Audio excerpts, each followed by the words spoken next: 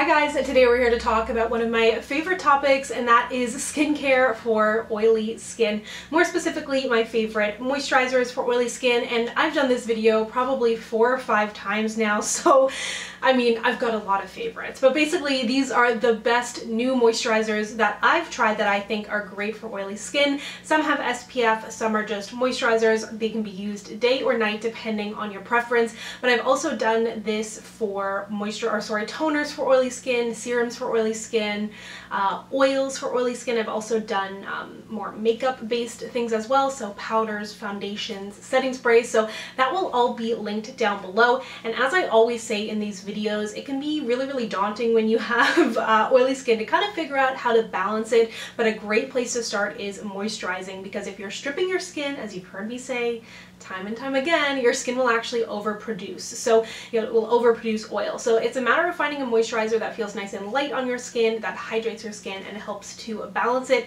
So there's lots of great options here depending on what you're looking for in terms of texture. Are you looking for something fragrance-free, cruelty-free, drugstore, high-end?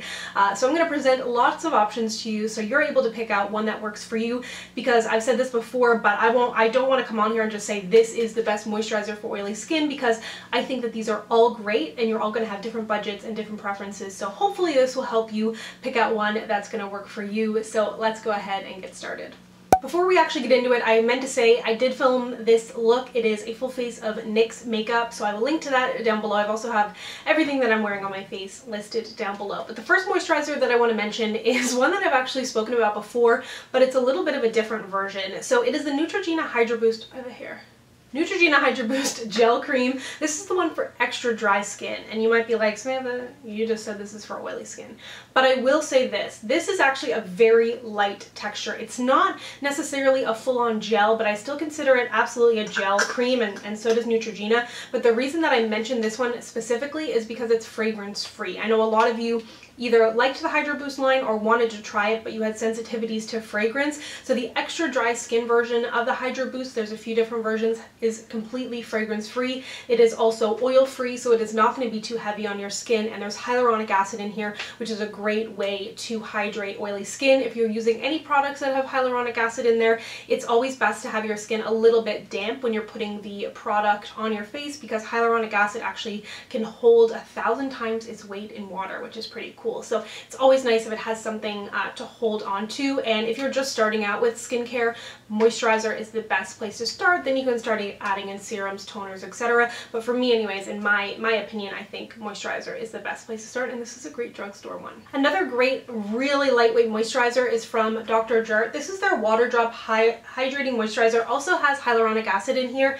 Uh, it says it is an instant burst of hydration for dry skin, which I will absolutely say. They do say that this is good for all skin types. Uh, brightens dull, lackluster skin, long-lasting moisturization. You're also getting 100 milliliters in here, which is a lot of product. So although it's a higher end brand, you're getting a ton of product in here. And if you ever have your eye on any high-end skincare, um, the Sephora VIB sale is a great time to get it. So it comes out kind of looking like a cream or gel cream, but when you rub this in, it is the most delightful. Like try it if you're at Sephora. It just kind of feels like water or just slightly thicker than water. It feels so light and almost cooling on the skin. Like even just rubbing it on my arm there feels so, so good.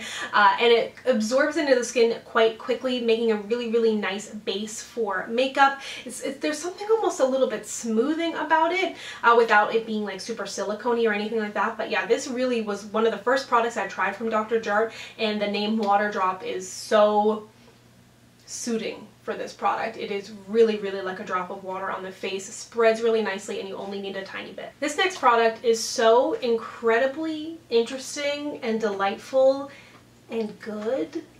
Like, it's it really, really pleased me. They talked this product up a lot. They said it took them 19 years to create, and I was like, it better be good but it's truly amazing. It is the Laneige Cream Skin Toner and Moisturizer. It says it's for normal to dry skin, but again, I think this is great for oily skin.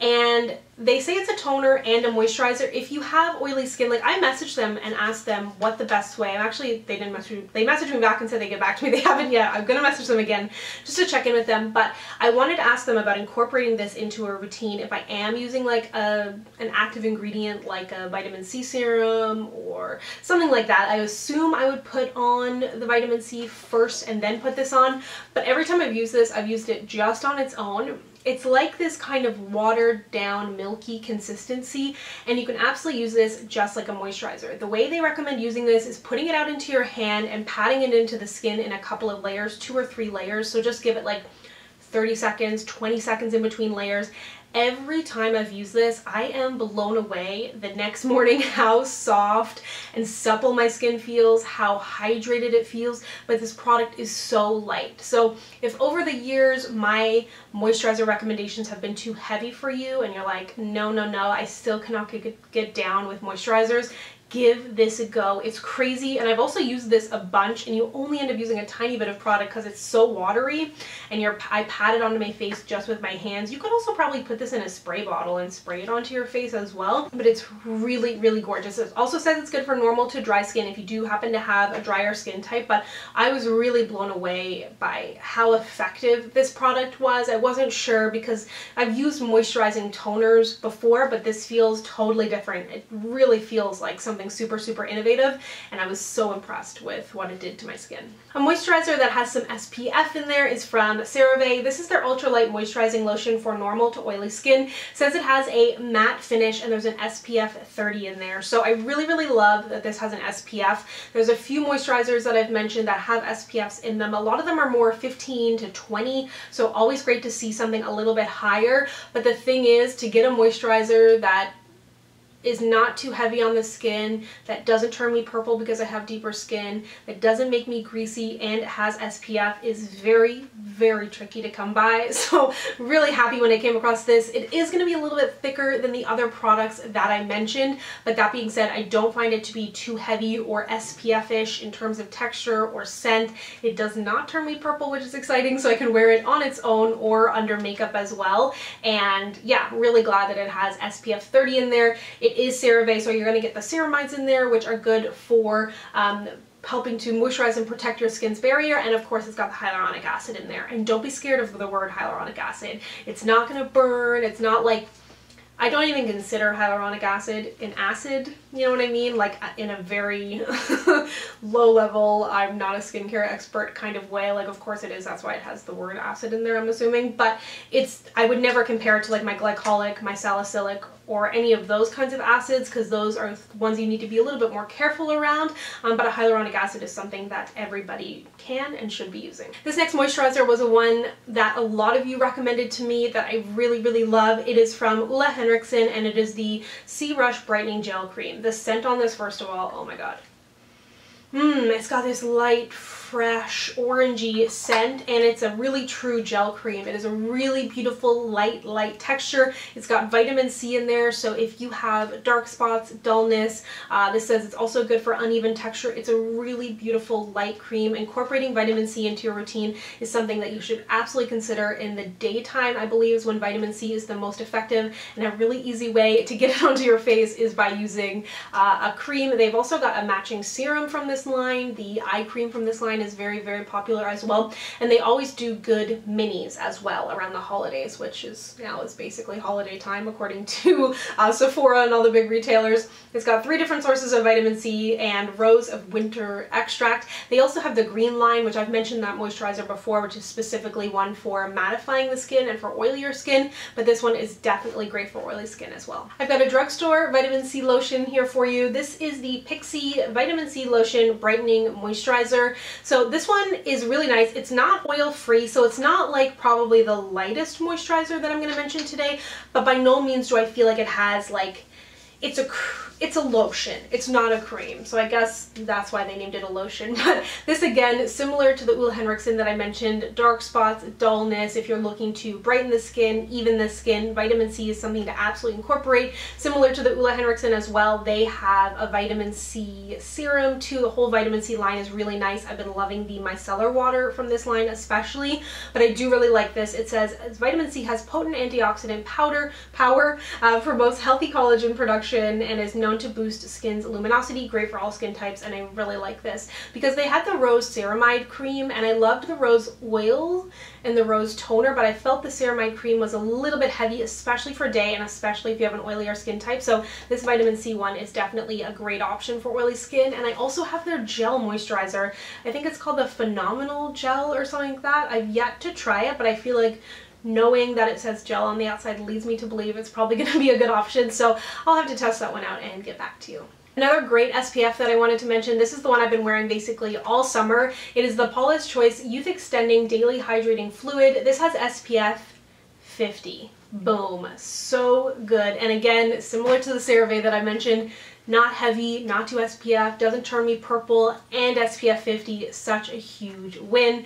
Uh, this says it has antioxidants, soothing plant extracts, water light fluid, minimizes the appearance of pores, and of course it helps to prevent UV damage and signs of aging. Paula's Choice makes really, really gorgeous moisturizers.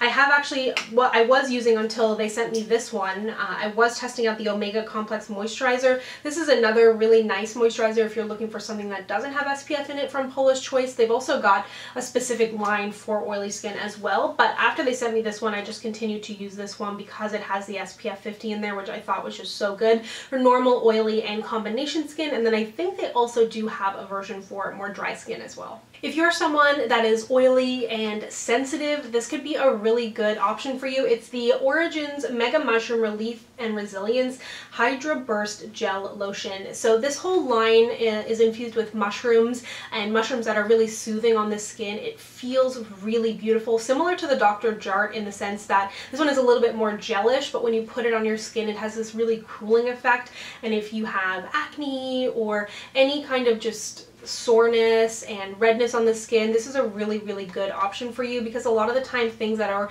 marketed towards people with more sensitive skin can tend to be more like sensitive dry and not sensitive oily. In my, in my experience, things that help with redness and kind of the calming and relief tend to be a little bit thicker. So this is a really, really good gel option. I also love the scent. It has that kind of like health food store scent, but in a good way. And they also actually just released a charcoal moisturizer, I think, as a part of that charcoal line that they have. Like, I love the masks that they do, so I haven't tried that one yet, um, but I will again. Like, uh, there's, I'm, I'm spoiled for choice. For a long time, there was very few moisturizers that I could use, and now every time I go to do one of these videos, I've got plenty to chat about, so I will have to try that one. Lastly, I have a moisturizer from e.l.f., and they've released so much skincare, and I do have that new purple one, but I'm still not sure how I feel about it. This one, I do know how I feel and I like it. It is the Hello Hydration Face Cream. It's got hyaluronic acid, peptide complex, it has niacinamide, which is amazing for oily skin and for large pores, as well as acne. It also has squalane in there, another ingredient I love.